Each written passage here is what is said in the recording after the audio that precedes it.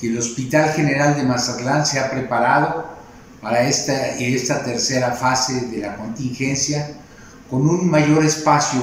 en el número de camas disponibles, eh, con mayor número de personal eh, para reforzar todos los turnos, tanto matutino, vespertino, jornada acumulada, etcétera, etcétera,